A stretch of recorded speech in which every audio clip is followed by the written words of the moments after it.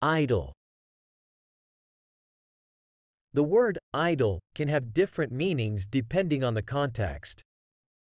Let's explore its primary meanings and provide examples to illustrate its usage.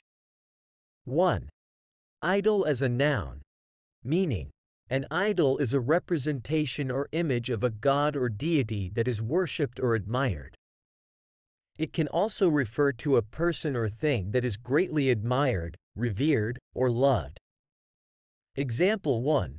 In some cultures, people bow down before idols of various gods and goddesses. Example 2.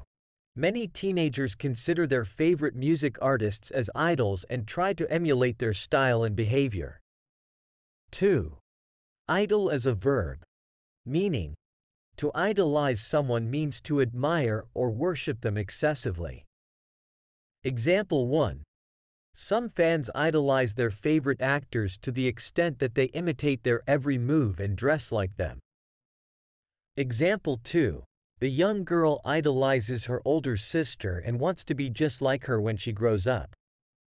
3. Idol as an adjective. Meaning. When used as an adjective, idol describes something that is highly admired or revered. Example 1. The singer's idol status was evident from the long queue of fans waiting to get his autograph. Example 2.